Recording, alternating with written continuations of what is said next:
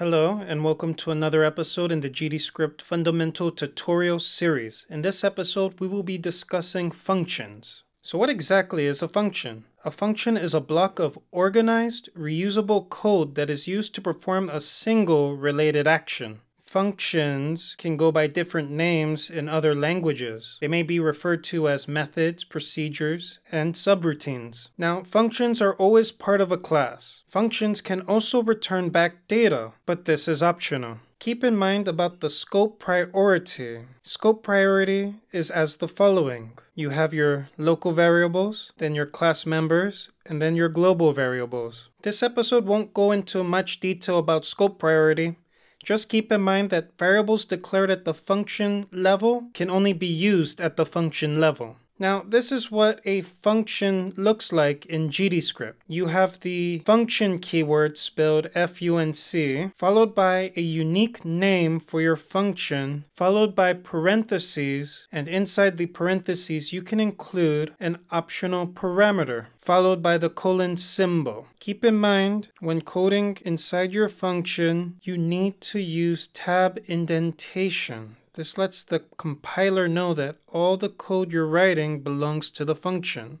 One thing to note is that you will throw an error if you have an empty function. To avoid the error, at minimum, simply provide the pass keyword. Now the pass keyword does nothing except prevents the compiler error for empty functions. The pass keyword can also be used in loops to avoid the compiler errors for empty loops as well. Let's take a quick example at the pass keyword. So you have your function, you use the pass keyword in the first line, and then after that you have a variable declaration. Well, the pass keyword does absolutely nothing, doesn't interfere with your code, and you still execute your variable declaration. Keep in mind if you declare your variable inside the function, the variable x in this case can only be used inside this function. It cannot be used outside this function. This is what you call function scope. Moving on, to create the basic minimum function in Godot GDScript, all you have to do is use the function keyword followed by a unique name followed by parentheses and the colon symbol. However, if you want to pass data into your function, you can declare what is called a parameter. Now, parameters are variables. They can be used in the function and only in the function level that its name is used in. Using the parameter name outside the function will throw an error. You can also declare data types to your parameters as well. This is for type safety. Keep in mind that if you use a function and pass a variable, or rather a value that is not part of the declared data type for that parameter, you will throw an error. On top of that, you can also declare a default value to your parameter. To declare a default parameter to your value, simply use the colon symbol followed by the equal sign. Lastly, using a literal value or a variable. One thing to keep in mind is that data type is inferred by the default value. This means you get the power of your data type in parameter along with a default value. Now, if you wanted to write it longhand instead of shorthand, this is what it would look like. You would have your parameter followed by colon symbol, then the data type, then an equal sign, followed by your default value. But keep in mind at the bottom that typing it out like that is the same as shorthanding it with the colon sign and apologies, colon symbol, equal sign, and then your default value. Now, one thing with functions is that you can return back data types to the function that called it. To do that, all you have to do is use the dash symbol followed by the arrow key symbol that's pointing to the right. Lastly, using the data type you want to return back. Now, keep in mind, you also need to provide the return keyword somewhere in your function code followed by a value with the declared data type as your return type in the function declaration. So basically anything after the return keyword also referred to as a return statement, will stop the function and return back that value that's after the return keyword when the function is called. Now, the return statement is used to terminate control of the function and returns control back to the calling function.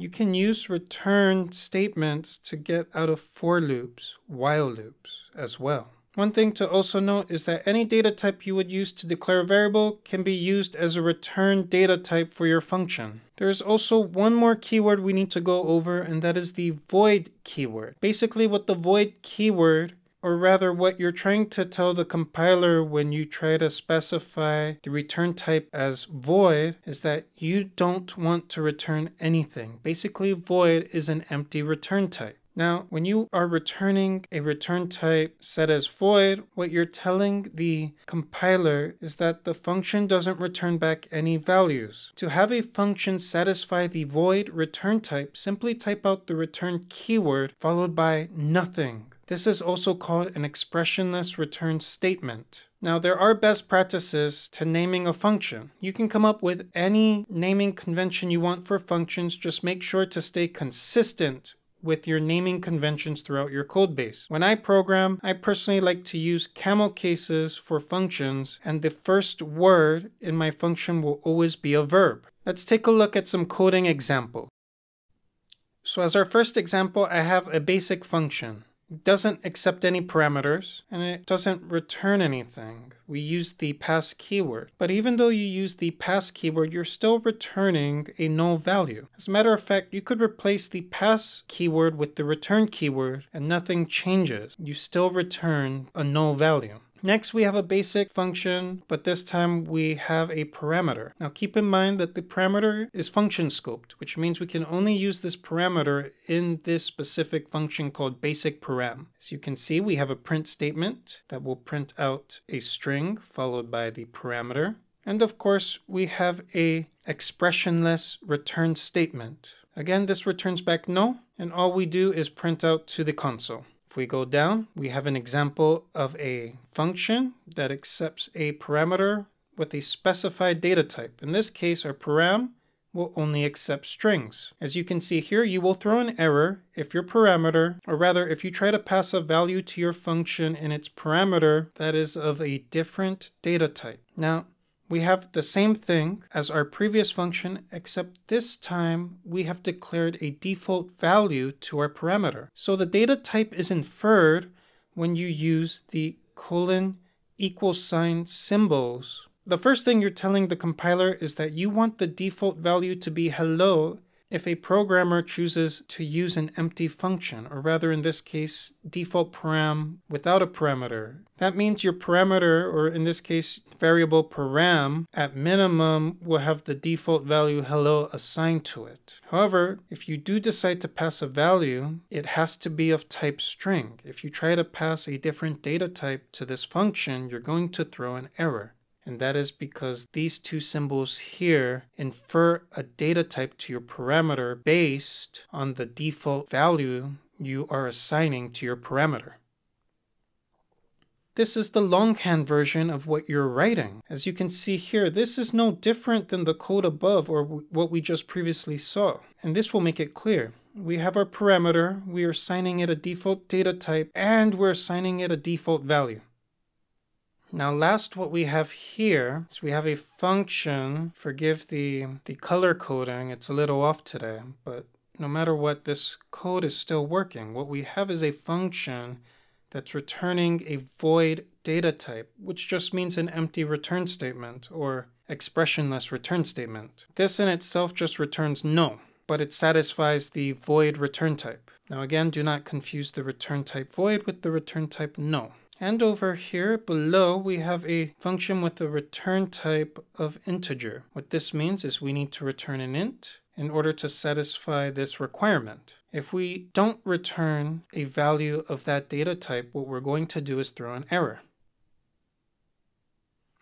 Now let's go ahead and look at some best practices as examples. So you can see here I've declared a variable, player health, assigned the literal integer value 100, and I've declared a function called getPlayerHealth, get being the verb, and following best practice camel case. In this case, it does exactly what we expect it to. The name describes what our function does, and as you can see here, we're returning back the player's health. In this case, we're returning back 100. Now, I've also declared another function called heal player, very self-explanatory. And also I've declared a parameter value with the data type integer. This lets you know that our function only accepts values of the data type integer. And as you can see here, we're editing the player health by increasing the player's health by the health points received in the parameter. Now, this long statement here that I've written out to show as an example could also be written shorthand, such as the code below in the comments. Lastly, I have another function called damage player, and as you'd expect, we're decreasing the player health. As you can see here, I've declared a parameter with a data type of integer value, and we are now using the damage points parameter to deduct our current player health. In all cases, we're not returning any value, we're just doing something. But again, what all of these three things have in common is that they start with a verb, they stay in camel case, and they are consistent throughout my code base. Now, that's all I have for you in this episode. All of the code you've seen here are going to be uploaded to GitHub, so feel free to download that GitHub file and play around with functions. Again, thank you for watching this episode. I hope to see you in the next.